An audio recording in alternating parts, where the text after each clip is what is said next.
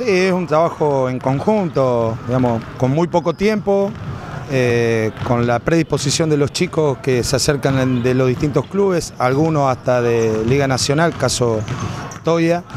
Y bueno, con dos entrenamientos, pero ya la mayoría de los jugadores venían conociendo lo que, lo que hacíamos, porque hay muchos jugadores que son del BEL, otros que ya lo he tenido antes en complejo.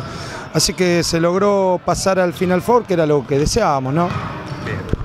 Eh, cuadrangular final que ya se viene, ¿no? 26, 27, 28 Todavía no sabemos bien la sede, pero presumimos que puede ser Mortero, que año a año lo organiza.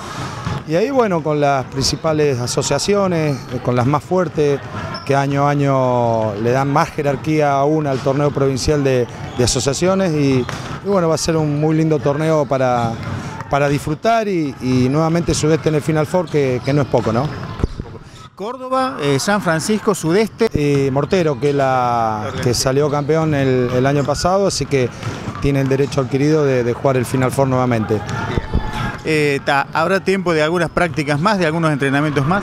La idea es la próxima semana, miércoles y jueves, poder meter dos entrenamientos, ver quiénes de los chicos pueden seguir en el equipo, porque hay algunos que tenían unos compromisos de antemano, y sumar algunos nuevos que, son pertenecientes al sudeste.